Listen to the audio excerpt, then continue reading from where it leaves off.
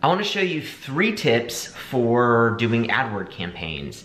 I've recently had some success. I've been doing AdWord campaigns for years. I mean, they've been out for a long time and they've changed drastically. Even recently, I've had to kind of get up to speed again in what AdWords is all about, but really the basics are still there. And there's three important things. There's probably many more, but there's three important things I think about when I'm doing an AdWords campaign that helps me improve my click rates, which is critical. Um, you wanna improve your click rates or you start wasting money. The higher your click rates are, the cheaper the clicks become in Google's algorithm. I'm also trying to film and do some funny stuff on this camera. Does it look uh, weird? Maybe? I don't know. All right, camera over there, camera over here. I'm doing something kind of fancy where I have like multiple camera angles going on at the same time. Don't mind her. Don't mind her. You can see her in this.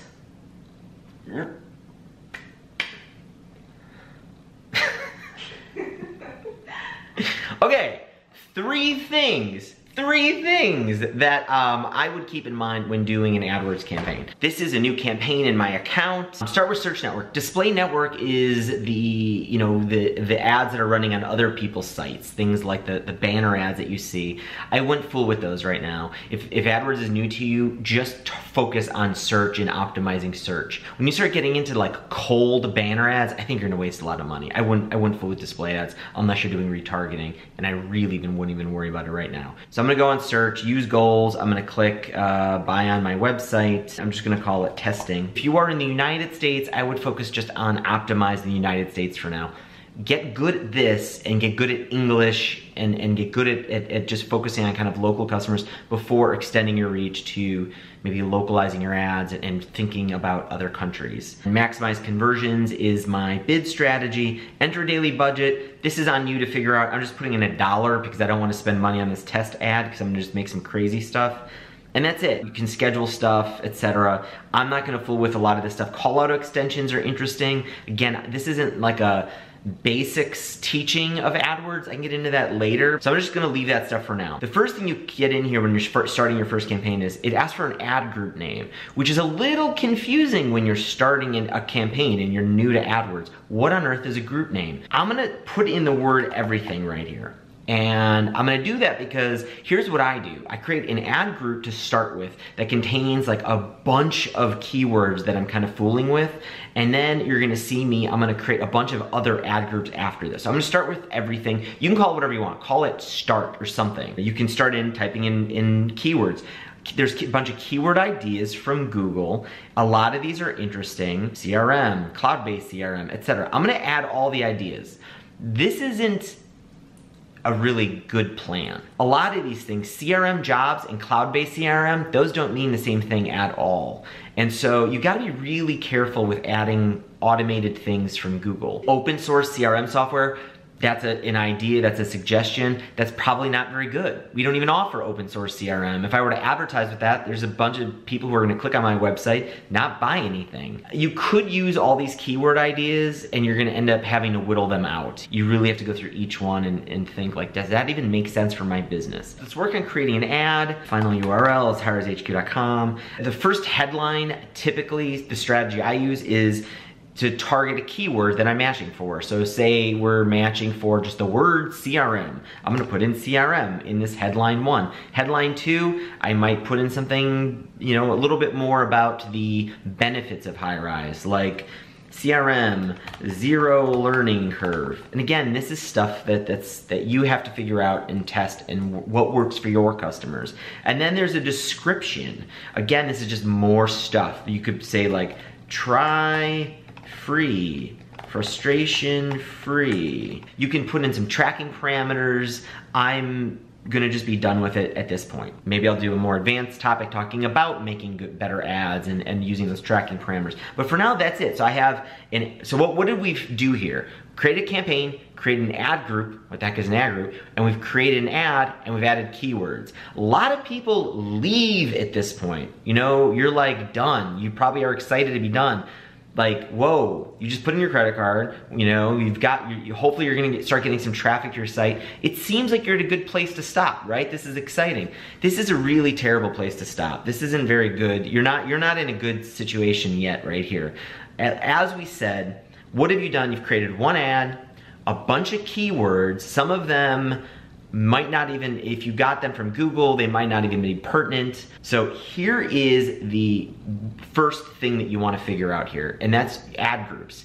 Ad groups allow you to kind of divide up your ads based on these groups. Well, the groups should be based on different keywords or keyword themes. For example, simple CRM is not the same thing as small business CRM.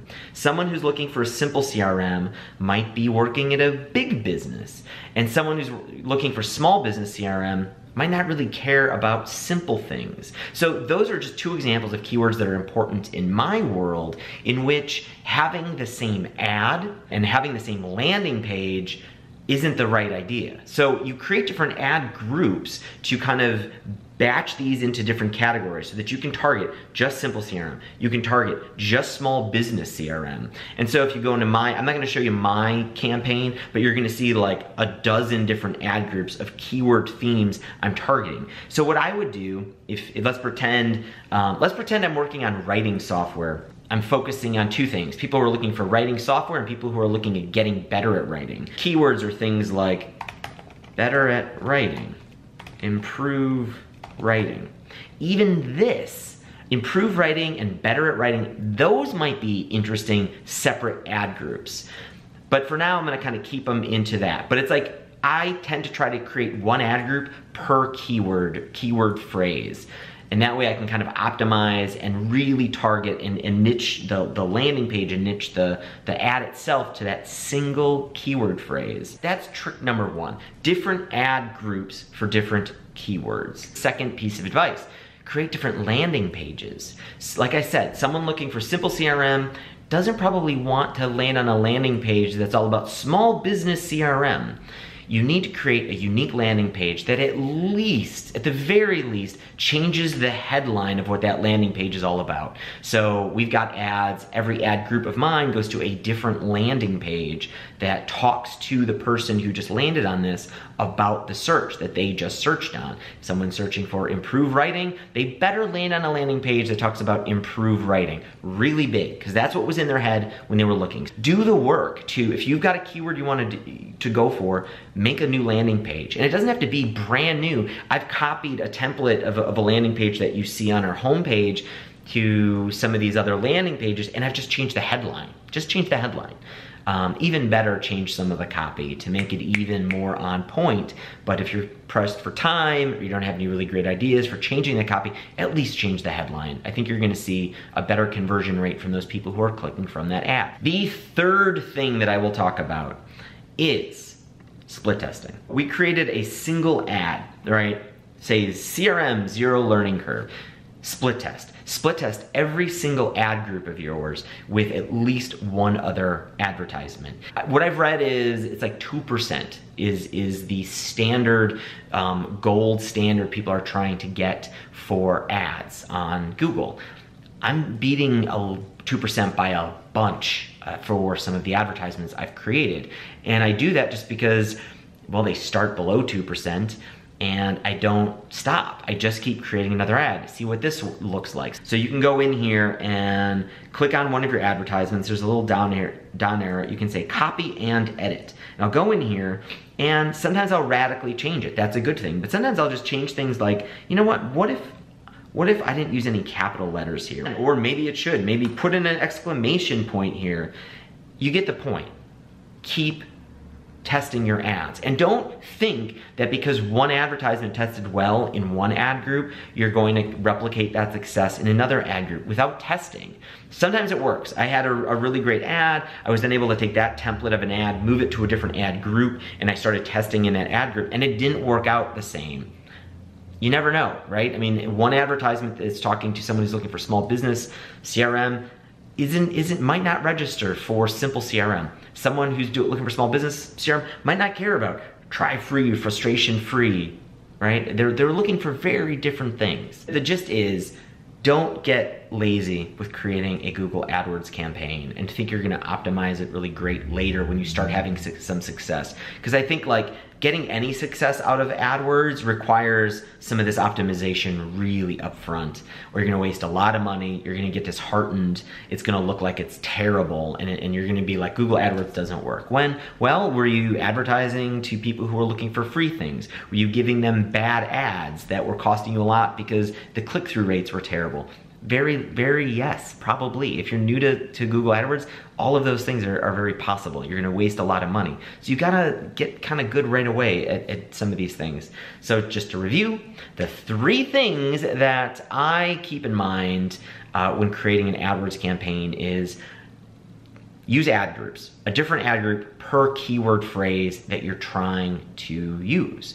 Create different landing pages, one new landing page per ad group. So one new landing page per keyword phrase you're trying to get people to search for and buy from you for. Third, split test constantly. Every you should every time you should always have two ads running all the time all right, the, the champion and the challenger, and continue to keep pushing that, and you're gonna get past the 2%. Uh, golden standard that people seem to think is is some kind of standard. I'll do more advanced stuff with AdWords, AdWords if you want, talk about retargeting, talk about Facebook ads, if you want. Leave a comment. Is this stuff helpful? Do you want more stuff that I'm doing with marketing and, and advertising? Let me know and I will do more tutorials and more talks about it.